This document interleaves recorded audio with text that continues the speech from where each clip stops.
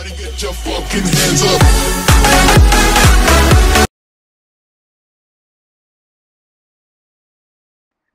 Okay. Here we go again. At last, we have the solution about MDM bypass. But this time, this bypass is not free. iOS 14, uh, you can bypass unlimited is free. But this iOS 15 cannot keep the old method not working at all. So I tried to search a tool. Uh, I found it and very, very cheap.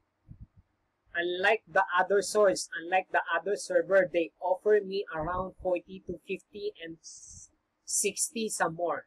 $60 the maximum. But, but this tool is 100% working. Then $20. 20 bucks. Okay? This one is 20 bucks only. Very cheap. And then very easy to use. Okay? Uh, first, basic. So, we need uh, 3U tools or iTunes to restore. To restore the iPad. We need the iPad clean restore. Okay? Clean restore and then if you use the if you're using the uh, 3U tools so you can go to smart flash and then download the firmware so this one the 15.1 RC this one is tested I tried already okay excuse me but now I downgraded I downgrade to 1502. And then this one is clean flash already. So before you proceed, you need to clean flash first. Okay, if you're using the 3U tools, you need to click this quick flash mode. Okay, and then flash. That's it. And then wait for the restoring done. After done, don't need to touch anything about the iPad. Let the tools bypass the MDM to us, okay? Don't touch anything. Okay, let me explain and then let me show you the tools. So in this website, mdmbypass.com, okay? This service is instant service. $20. 20 bucks. And then this one is automated. 24-7 uh, support service also. If you have trouble, if you if you got error, this guy is easy to connect. Okay? This one is legit 100%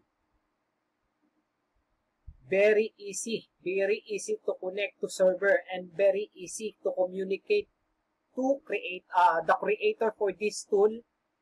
Very easy to get. Okay? First, we need to download the tools.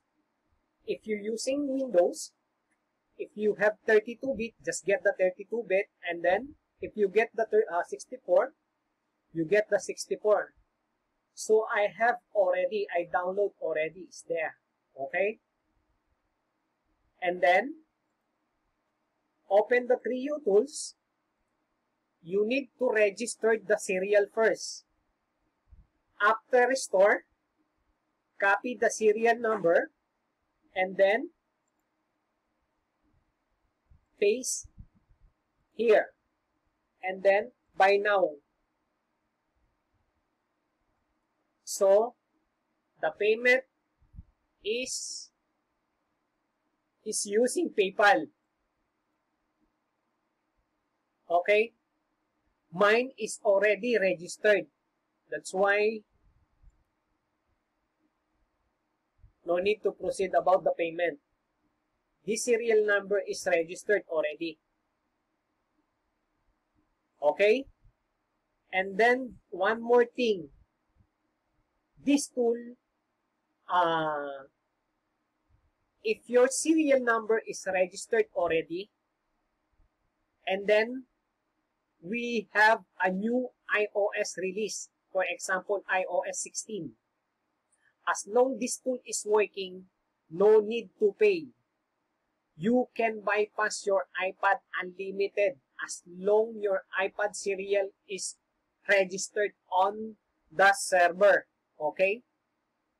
Unlimited bypass. You can uh, you can restore your iPad as long as you want, even every day.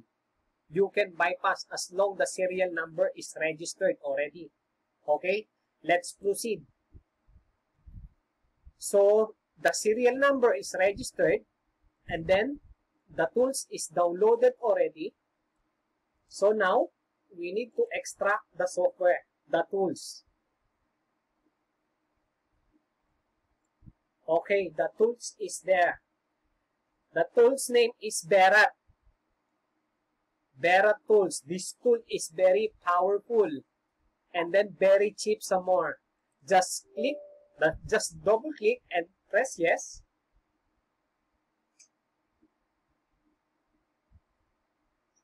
And wait. And then, as you can see, the version is iOS 15.02. And then just hit bypass and sit and relax. And wait.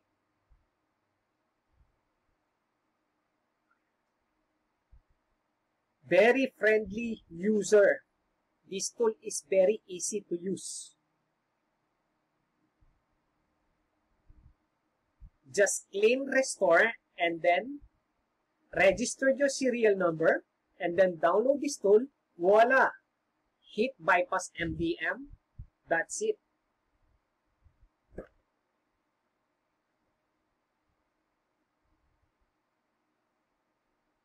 Wait and see what happened. See? Now, the bypass unprocessed and then MDM bypass done. So let's see what happened uh, for the iPad. MDM is done. Bypass already.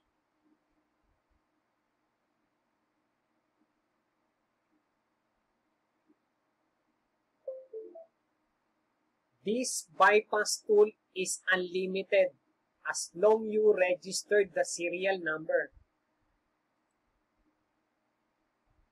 Let me show you again. First step, make payment. Your UDIT or serial number will be registered on server automatically after pay, uh, payment. If you don't know your uh, UDIT or serial number, download the MDM bypass tool first. It will show you uh, if you show that info. So that info is this one. UDID is this one. Okay? UDID and serial number. So you can use this tool and the 3U tool somewhere. Up to you. And then step 2, download MDM bypass tools. Restore your device with iTunes. After restore, wait will that uh, wait till welcome screen on your device. When you see welcome screen, just run MDM tool and click bypass. Wait till done message uh, and enjoy your device. That's it.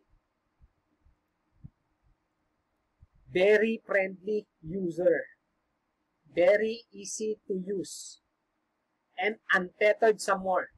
What uh, what untethered means? Untethered means you can on and off your iPad anytime you want. No need to worry.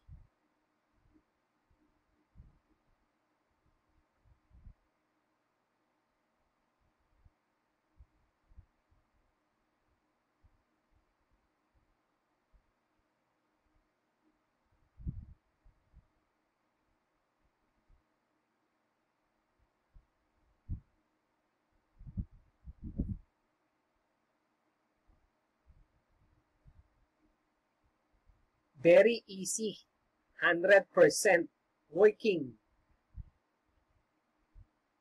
So we have a software version uh, 1502, 15.0.2. So we go to wallpaper.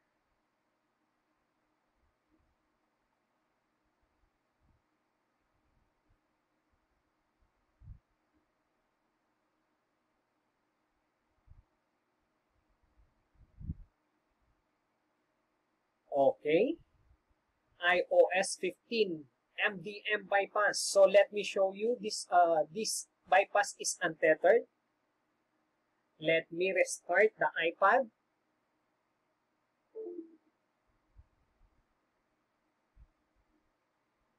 And then on.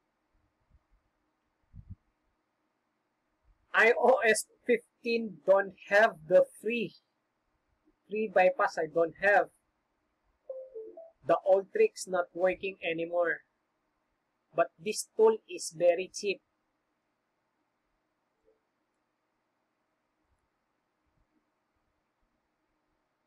So here you go.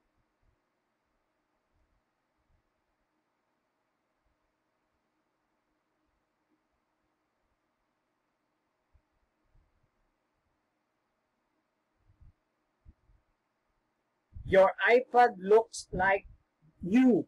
The the restriction, uh, MDM restriction no more. Okay? Thank you. And uh, see you on uh, next iOS. Thank you. Bye-bye. Everybody get your fucking hands up.